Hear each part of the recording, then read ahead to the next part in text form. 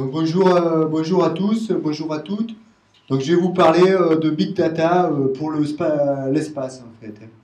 Voilà, donc c'est une présentation qui a été faite aussi avec deux personnes du centre de calcul, l'IN2P3. L'IN2P3, nous on travaille avec le CERN, le LHC, dans la, recherche du boson de Higgs. on travaille là aussi ben, pour le spatial, pour l'étude de l'énergie et de la matière noire. Donc là, il y a deux personnes du centre de calcul à Lyon qui ont fait cette présentation. Et il y a aussi, euh, ça a été rédigé, on ne voit pas son nom, euh, par le chef du projet de la base de données, donc Kiasek Bekla, donc à l'université de Stanford, donc dans la Silicon Valley. Donc je vais vous parler du télescope. Euh, donc c'est un télescope qui est un projet américain, donc le LSST. Ça va faire un film de l'univers en fait pour détecter les mouvements des étoiles et faire une cartographie en 3D de l'univers, c'est le but. Et on va acquérir 60 pétas de données sur 10 ans. Voilà. Donc c'est un télescope qui est au Chili à 5000 mètres d'altitude. Vous voyez la taille de la CCD, c'est la cellule photoélectrique. Il faut comparer avec celle de votre appareil photo. Donc un pixel, c'est la taille d'un terrain de foot sur la Lune. Donc euh, voilà l'équipe. Donc l'équipe est basée euh, majoritairement euh, dans la Silicon Valley. On a quelques cadors. On a Andrew Anuszewski qui a écrit donc XQD, qui est un système qui gère des pétabytes de, données en fait au CERN, enfin le système distribué. On a Jacek Bekla, donc aussi qui est chef de projet, l'organisateur de la conférence XLDB, là, qui réunit euh, les cadors des bases de données chez Google, Teradata, et des grandes universités américaines. Puis voilà, maintenant, ils ont pas mal recruté. On est maintenant une dizaine. Puis moi, de temps en temps, j'y vais deux fois par an, pour une durée de 15 jours à 6 mois, suivant les besoins. et donc, voilà, ça dépend. Bon, la France, on est impliqué à 5% dans, ce projet, en fait. On est le 51e État, si vous voulez. C'est-à-dire qu'on va, on va participer, notamment pour pouvoir euh, accéder aux données et faire de la physique avec. Donc aussi au centre de calcul, euh, on a les experts, parce que l'infrastructure est basée prioritairement en France pour l'instant. Donc on a Fabio et Ivan, qui sont les experts du centre de calcul, et d'autres pour le monitoring, pour les accès file système partagé, pour le OpenStack, on est tout en cloud computing, des choses comme ça. Quoi. Bon, voilà, donc là il y a un grand centre de calcul, ça fait la taille d'un supermarché, c'est à Lyon, et c'est là que les données vont être processées et que le stockage va être réalisé. Donc voilà, au niveau de l'équipe, on fait beaucoup de choses. Moi, je vais vous parler essentiellement de l'accès aux données et de la base de données. Tout le reste, bon, euh, c'est pas trop ma, partie. Donc, c'est une base de données relationnelle dans laquelle on va stocker les étoiles. C'est un schéma qui est utilisé pour la majorité des télescopes.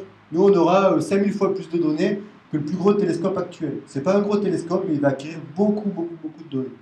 Bon, c'est une base relationnelle assez classique hein, pour ceux qui ont fait les ressources humaines ou bon, d'autres choses, de la finance, la comptabilité, c'est une base de données assez simple. On a peu de tables. On a deux grosses tables. On a une table qui va stocker les étoiles du ciel. Donc, par exemple, ça va être Vega, vous voyez. Donc, ça va faire une ligne. On peut avoir jusqu'à 5000 colonnes. Il y a beaucoup d'attributs qui sont des chiffres, en fait, qui vont représenter l'étoile. Et ensuite, on a toutes les observations de l'étoile dans une deuxième table. Donc, si on a pris 1000 euh, photos de Vega, on aura une deuxième table avec 1000 lignes. Voilà, donc c'est ça qu'on doit stocker. Donc là, si on regarde euh, pour cette table, on arrive à la table des observations des étoiles, on arrive à 5 pétabytes de données, qui sont essentiellement des chiffres. Tout ça, c'est issu de, Il y a un supermarché plein d'ordinateurs qui va processer des images et en extraire toutes ces mesures, en fait. Et donc, à l'arrivée, on arrive à 83 pétas. Si on regarde les images, donc c'est la donnée brute, en fait, non, non analysée, hein, on a un demi-exabyte. Donc, nous, voilà. voilà c'est vraiment du big data, hein, c'est tout dire. Hein. Et donc voilà, donc euh, le problème, on, aurait pu prendre Oracle, des choses comme ça qui sont utilisées pour les télescopes actuels, mais vu le coût des licences, ça aurait coûté plus cher que les télescopes. Donc les USA, ils ont, décidé en fait de faire, euh, ils ont décidé de faire un, produit eux-mêmes, ça leur coûtait moins cher. Un logiciel libre qui pourrait être réutilisé par les autres télescopes. Donc là, moi, je vais vous parler de la base de données qui ne bouge pas. Il y a pas mal de choses. Il y a la détection des objets qui bougent, des stockages des images, moi, je vous, parle vraiment de la base de données qui sert à faire l'analyse, en fait, la physique. Donc, en, fait, tous, les, ans, on fait l'analyse des images qui sont acquises par le télescope et on les stocke dans, cette base de données. Donc, il n'y a que deux une écriture par an. Et on va aussi gérer un espace utilisateur, une sorte de home directory où les, astronomes ils pourront importer des données en fait d'autres télescopes et croiser les données entre un télescope spatial, par exemple, qui a un moins grand champ mais une meilleure résolution, et ce télescope terrestre qui a lui un, grand champ, mais souvent un, signal de moins bonne qualité à cause de l'atmosphère et des choses comme ça. Donc voilà, donc nous on, offre une base de données relationnelle assez classique avec euh, du système d'information géographique. Vous voyez, on va chercher dans une région sur tout le ciel. On peut faire des jointures entre les objets qui sont proches, euh, des, analyses de séries temporelles pour voir l'évolution d'un objet au cours du temps. Donc vous voyez, on doit répondre à 5 requêtes interactives et 50 requêtes complexes. Il y a voilà, on a des, exigences qui sont fixées par le gouvernement américain. Et donc euh, voilà, donc les interfaces, c'est REST, donc on peut accéder en, web, ou alors euh, avec un client MySQL aussi. Vous installez un client MySQL, vous mettez l'URL du serveur, et ça vous permet d'accéder à la base. Donc on peut accéder en PHP, en Java, à tout ce qui parle euh, MySQL en fait. Donc voilà, on a rajouté des choses au SQL, donc la géométrie spatiale, pour rechercher sur une zone du ciel, parce que nous en fait, les étoiles c'est en 2D, le télescope c'est en 2D, donc on va faire l'intersection d'un cercle ou d'une ellipse avec la sphère pour retrouver toutes les étoiles qui sont dans une zone du ciel. Donc on a rajouté la géométrie spatiale sous forme d'un plugin euh, MySQL MariaDB. Mais par contre, euh, on ne gère pas euh, tout le SQL vu la complexité en fait du produit qui distribué. Il y a pas mal de choses qu'on ne supporte pas. Et c'est pareil aussi le gouvernement. Enfin, voilà, le gouvernement américain il paye par rapport aux exigences des astronomes. Il y a des choses qu'on pourrait supporter, mais si les astronomes ne l'ont pas demandé, nous, on ne l'implémente pas, même si ça ne serait pas si compliqué que ça à implémenter. Donc voilà, on, supporte les requêtes classiques, la jointure, la recherche sur un, objet, la recherche sur une zone du ciel. Il y a beaucoup de requêtes qui ont été identifiées par les astronautes, qui sont accessibles ici. Bon voilà, on supporte euh, pas mal, une bonne partie du langage SQL. Maintenant, on va faire QC under the hood. Donc on va soulever le capot. Eux, ils disent sous la capuche, mais nous, enfin sous le capot, c'est la même chose. Et donc là, voilà comment c'est implémenté. Donc on est complètement logiciel libre, c'est flexible. Ça fait 8 ans environ que ça a démarré le développement. Au début, il y avait très peu, il n'y avait qu'un développeur, il y avait peu de financement. Et donc, euh, jusqu'à ce que le gouvernement américain décide d'amener le, milliard d'euros, de dollars qui était nécessaire pour le, montage du télescope. Et donc là, euh, voilà, donc euh, faut que ce soit flexible parce que voilà, au cours du temps, les composants deviennent obsolètes. Et donc là, on utilise des composants du marché, MariaDB, qui est utilisé par Google, Facebook aussi, qui est la suite de MySQL en fait. Hein. Euh, pour le MySQL Proxy, XRUD qui est un logiciel euh, pour gérer des pétabytes de, fichiers au CERN pour accéder en quelques millisecondes à un fichier alors qu'il y a des centaines de serveurs qui, gèrent plein de fichiers, ou Protobuf qui est un protocole d'encapsulation des données le réseau. Euh, c'est tout écrit en C++ et Python. On n'avait pas le choix parce qu'il faut que tous les produits de, la gestion des données pour LSST soient en C++ et Python pour des raisons de maintenance. On n'a pas le choix sur les langages. C'est des grandes collaborations, on a environ une cinquantaine de programmeurs, si on compte aussi les algorithmes de, traitement d'image et tout. Donc il faut que ce soit assez standard pour la, maintenance. Ça va durer 20 ans. On n'a pas tellement de choix sur les technologies. On utilise Anteler pour parser le SQL, qui est un parseur qui est fait à Stanford aussi. Bon, voilà, on a un code assez concurrent, un code parallèle. Je vais vous montrer tout ça. Et on a un plugin SQL aussi pour la géométrie spatiale. Donc comment ça marche? C'est assez simple on prend la, sphère, euh, la sphère céleste. Mais ça peut être aussi la planète Terre pour des données géolocalisées au sol. Hein. Et donc là, on va la diviser en 20 000. On divise en 20 000 parties. Donc là, on arrive à un problème. 5 euh, pétas divisé par 20 000, c'est un problème qui est soluble par une instance de base de données classique. Là, c'est un problème qu'on sait résoudre. C'est une base de données normale. Et donc nous, on va, résoudre, on va répartir ces 20 000, euh, ces 20 000 chunks, ces parties en fait, sur par exemple un millier de nœuds. Voilà, donc chaque nœud, il aura 20 chunks. À ce moment-là, si jamais on fait un, On va compter le nombre d'objets qu'il y a dans la base de données. Donc, euh, je ne sais plus, c'est un milliard, quoi, ou un million de milliards, bon, ça dépend. on fait un comptage d'objets dans la base de données. Qu'est-ce qui se passe? Je vais select CoolStar from object, donc je veux, compter tous les objets, toutes les étoiles du ciel.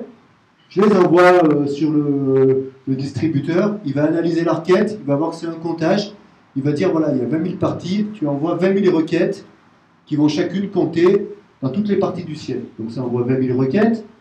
Là, la requête, c'est facile parce qu'on compte sur une base de données normale, la réponse elle est instantanée. Et là, ça renvoie les 20 000 requêtes à, un agrégateur là, qui va stocker les 20 000 résultats. Et on avait aussi à l'analyse de la requête vu que c'était un comptage. Donc quand on fait un comptage, le résultat c'est la somme de tous les comptages. Là, c'est assez trivial et on renvoie ça à l'utilisateur. Et là, ça va très vite. Ça va, ça va compter en, en, voilà, moins d'une seconde, un dixième de seconde, un centième de seconde. Donc, euh, donc voilà, bon, euh, c'est le principe. Après, on va gérer des requêtes plus compliquées naturellement, donc ça, ça demande quand même. Là, c'est un cas simple. Donc voilà, on gère la géométrie spatiale, on va gérer les jointures pour les requêtes entre plus proches voisins, c'est-à-dire que les, astronomes, ils aiment bien comparer les objets avec leurs voisins, donc il va falloir gérer des choses comme ça. On a des optimisations euh, de chart scan au niveau, on va euh, réordonnancer les requêtes de l'utilisateur pour qu'il y ait le minimum de lecture qui soit faite sur le disque. Les requêtes qui lisent la même partie du disque, on va les réordonnancer de manière séquentielle pour que ce soit stocké dans le cache du système de fichiers. Donc voilà, il y a eu des tests qui ont été faits. Donc là, euh, on a 50 nœuds à l'IN2P3, on avait géré 300 nœuds. Les, gros tests ont été faits en France. Le prochain test, c'est dans 6 mois, c'est 120, 120 terabytes. Actuellement, on est à 35 terabytes. Un centième de données finales. Donc là, voilà, euh, sur les tests, on était très bon. Mon chef est passé grand chef d'ailleurs suite au test. Euh, alors qu'il y a 6 mois avant, il était un petit peu sur la sellette. Quoi. Là-bas, tout le monde à la CDD, quoi. Donc, euh, pour assurer. Alors, alors voilà, donc là, ça s'est bien passé pour l'instant. Sachant qu'on est qu'à 1% des données, on ne couvre pas toutes les requêtes SQL. Il y a Dell qui a offert un cluster pour une valeur de 300 000 euros à, à l'IM2P3, Dell Recherche France, quoi. Et donc là, on a installé 50 nœuds vous voyez, les développeurs, ils codent. Le code est dans GitHub, c'est accessible. Vous pouvez l'installer, euh, c'est accessible sur un logiciel libre. Ça s'installe en 10 minutes, hein, c'est facile à installer. Il y a Oxford qui l'a installé, Cambridge. Je crois que ouais, ça s'installe bien. Quoi. A mon voisin de bureau qui l'a installé, il semble le dire aussi. Donc, euh, ouais, ça, s'installe bien. Quoi. Donc là, euh, au niveau, le code pendant GitHub, ça va créer une image Docker. Enfin, il y a un script qui crée une image Docker. On la balance sur le cluster où il y a les 35 Tera de données qui sont stockées en local sur les nœuds, le, cluster LN2P3. Et là, vous voyez, euh, ça, on peut tester en quelques secondes la nouvelle version d'un développeur. Je rajoute une fonctionnalité, je commute dans GitHub, je lance deux scripts et mon code tourne sur le cluster et je peux l'instrumenter. On a un logiciel d'analyse de log, Elasticsearch, qui va permettre de, remonter toutes les stats qu'on veut euh, sur euh, le comportement du logiciel. Donc voilà, on fait la même chose pour les tests d'intégration continue. Donc vous voyez, euh, bon ça c'est plus ma partie, c'est pour ça que je vous en parle, mais bon. Toujours est-il, voyez, le développeur commit, et très vite, il voit qu'il y a eu un commit dans GitHub, il package un container, il boot un cluster, il lance les tests d'intégration, et puis il renvoie un mail au développeur et à ses copains pour dire que ça marche ou que ça marche pas. Donc là, c'est pratique quand on code, on n'a plus aucune compilation, aucun test à faire. Tout est fait dans le cloud et on peut aller boire un café, on met du café, on voit si le code marche ou pas. C'est pratique parce que là, à tester sur cluster, c'était compliqué. Donc là, c'est Docker, Travis, des fonctionnalités intéressantes. Donc voilà, donc le, prochain test, c'est 120 Tera de données, je vous l'ai déjà dit. Voilà, en résumé, euh, bon, voilà, on fait des big data, tout est logiciel libre. Bon voilà, à mon avis, ça doit être utilisable pour des problématiques de, de système d'information géographique terrestre. On, est encore, on a un prototype qui fonctionne, on n'est pas encore en phase de production. Le télescope, il sera construit que dans 5 ans. Là, ils sont en train de, le monter au Chili. Donc, si vous voulez en savoir plus, il y a tout le, le document qui avait permis de passer la, revue par le gouvernement américain, tout télescope, qui est là. C'est le document spécifique à la base de données. Le manuel utilisateur et éventuellement la doc d'install. Donc là, c'est vous qui rédigez la doc d'install, qui fait la procédure. Donc là, vous pouvez me poser des questions, je vous fais tout le support possible. Donc voilà, et puis bon, pour montrer que c'est compliqué quand même, voilà, je vous ai mis une fiche.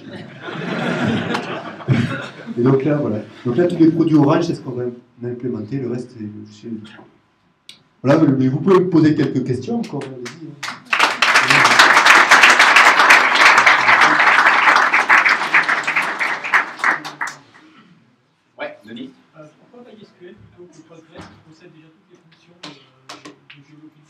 Alors ça, je vais donner mon joker.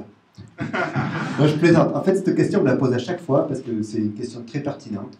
Et en fait, ce qui se passe, c'est que Postgre, c'est vrai que c'est ce que nous a dit d'ailleurs le gars de IPAC, là, donc de Caltech, qui, qui a développé la géométrie euh, sphérique, c'est qu'en fait, euh, le, service, la Q3C, la, de géométrie sphérique qui est implémenté dans Postgres, il est très pointu. Et donc, euh, en fait, oui, pourquoi MySQL? Alors MySQL, nous on est en MyISA, et quand on va charger euh, des, pétabytes de données, mais le load data in file en MyZap, c'est ce qui est le plus rapide.